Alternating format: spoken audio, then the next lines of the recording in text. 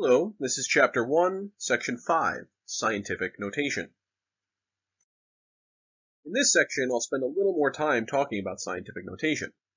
Scientific notation has a few uses, but usually it's a way of writing numbers that are very large or very small without writing out all of the zeros that you would need for standard notation.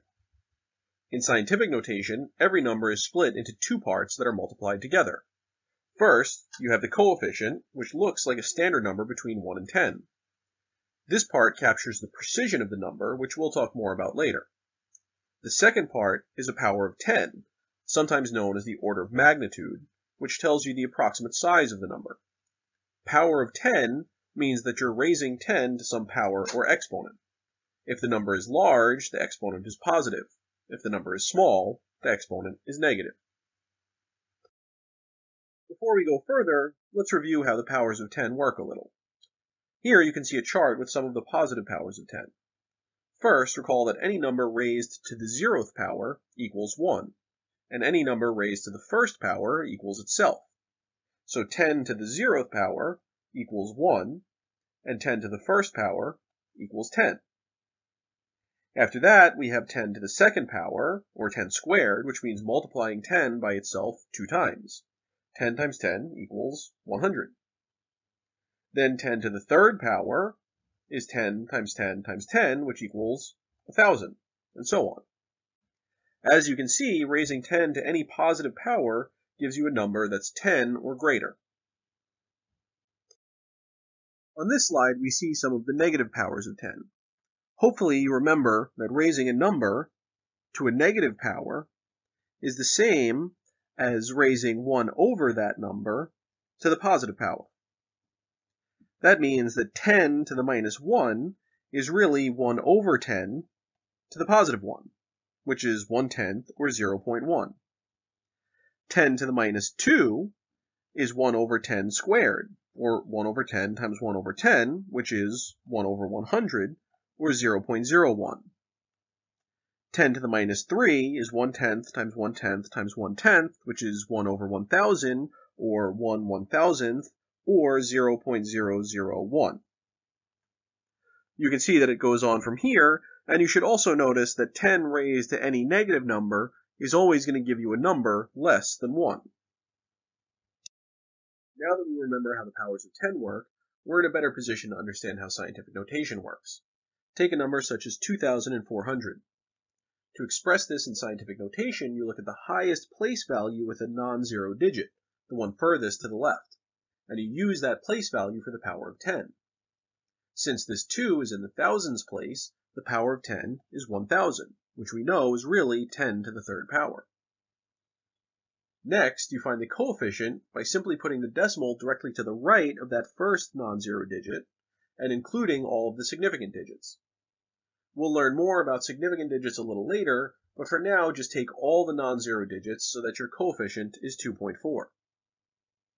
Putting these together, you get 2,400 equals 2.4 times 10 to the third power.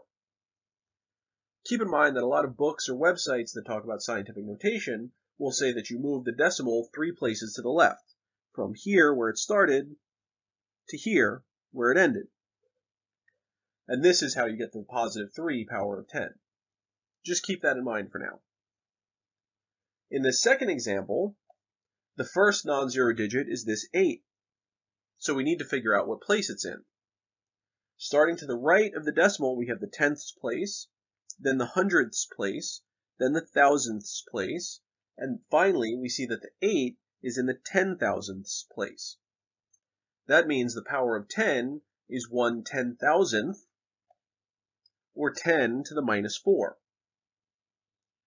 For the coefficient, we put the decimal after that 8, and keep all the non-zero digits, so we get 8.6. Putting them together, we get the answer. 8.6 times 10 to the negative fourth power. Again, you can think of this as moving the decimal four places to the right, 1, 2, 3, 4, and that gives you the negative 4 power of 10. Previous slide showed you how scientific notation works with breaking the number into factors or moving decimal places, but in practice those aren't necessarily the best ways to think about it. I think the steps outlined in these next two slides are a lot easier to use. Take the example of 2400 again. First, identify the first non-zero digit from the left, in this case the 2, and place the decimal directly to the right of it, retaining all the significant digits and dropping any zeros at the beginning or end of the number. This gives us the coefficient of 2.4, just like before. Next, figure out how many places you move the decimal to get it to the new position.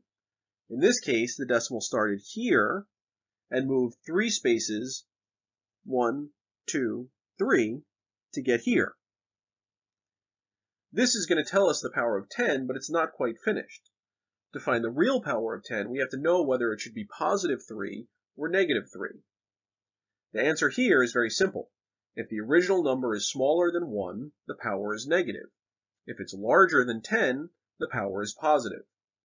In this case, 2,400 is obviously larger than 10, so we know that the power is supposed to be plus 3, positive 3.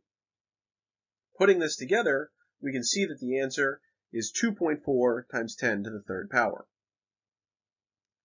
At first, you may not see much of a difference between this method and the previous one, but I found that it can help reduce some confusion. The most common questions students have about scientific notation are which way do I move the decimal, or if I moved the decimal this direction, does that mean I get a positive or a negative power? This is made even more confusing when you realize that the answer is different depending on whether you're going from standard to scientific notation or vice versa. Instead, by understanding that the size of the number tells you the sign of the exponent, you can sidestep these questions altogether and still get the right answer every time. Using this method on the other example again, we see that the coefficient is 8.6 because I put the decimal right after the 8. In order to do that, I needed to move the decimal four places. 1, 2, 3, 4. I don't even need to worry about telling my left from my right because now I know that the power has to be negative because the original number is less than 1. That means I can jump right to the answer, 8.6 times 10 to the minus 4. As you can see, this is a very quick way to figure out scientific notation, and it's easy to use the same logic to go back to regular notation too. This table has some examples of different sized numbers and their corresponding scientific notation. Notice how much more compact the notation is, especially for large and small numbers. And also that the large numbers have positive powers and the small numbers have negative powers. You can also see how you get the coefficient by just looking at the non-zero numbers, for 55 billion, the coefficient is just 5.5. For this one, 3 10 millionths, the coefficient is just 3. One other useful thing to notice in this table is that the power of 10 doesn't necessarily tell you how many zeros you have in the original number. A lot of students try to take this shortcut by assuming that a power of 3, here for example, means you should have 3 zeros in your answer. But you can see this is incorrect. There's only 2. The 3 tells you the number of place values to move, but in this case, and in most cases, not all of those place values are taken by zeros. Try to avoid using shortcuts like that unless you're sure that they work in every situation. Using scientific notation with a calculator can be tricky, and unfortunately there are a lot of different kinds of calculators that work in different ways. For now, we'll try to describe how some of the most common types work, but the best thing you can do is pick a calculator early and practice using it. For this course, a scientific calculator is needed, which means one that can handle logarithms, exponents, and of course, scientific notation. A simple four-function calculator that only does addition, subtraction, multiplication, and division won't be enough. On most scientific calculators, the key that you need for scientific notation is labeled either EXP or EE. This key is used in place of typing out 10 to the power, or 10 caret. The way it works is that you first enter the coefficient, then you press the exp or ee key, and then you simply enter the exponent for the power of 10 without putting in the 10 itself. Remember, you use the exp or the ee key instead of typing out the 10. So, to enter 4 times 10 to the sixth power, for example, you first enter the 4, then you press EXP or EE, depending on your calculator. And then you put in just the 6 and you hit enter. For 2.5 times 10 to the minus 4, you enter the 2.5, followed by the exp or the EE key, followed by the plus minus sign to make the exponent negative, and then finally the 4. Remember, on most calculators, the key to make a number negative is labeled plus minus like this, but on some it looks like a minus sign in parentheses like this. You can see on the slide here that there are also a few different ways that calculators display a number in scientific notation. A few of them will actually show a little 10 to the power sign and then the exponent, but most of them display it in one of the ways you see here. The most common is for the coefficient to be followed by a small capital E and then the exponent, as you see here. No matter what calculator you have, it's very important that you practice to get the hang of it. Some calculators even need you to change display modes to see an answer in scientific notation. If you find your calculator just displaying a bunch of zeros, even though you're pretty sure you entered the calculation correctly, it may be this issue of the display mode. You can consult the manual that came with it, or Google search the brand and model of your calculator, or just come to me during office hours and I can help you to figure it out. Alright, let's finish up by doing some learning check examples. For each of these two numbers, write them in proper scientific notation. I'll give you a couple of seconds to pause the video so that you can try it yourself with a pencil and paper before seeing the answers.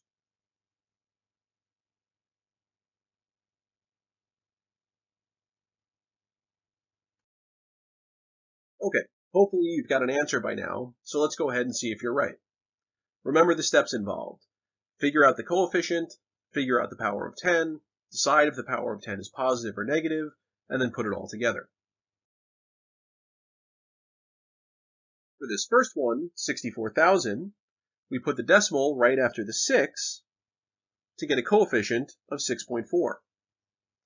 Then we see that this is four places over from where the decimal was, starting here, 1, 2, 3, 4.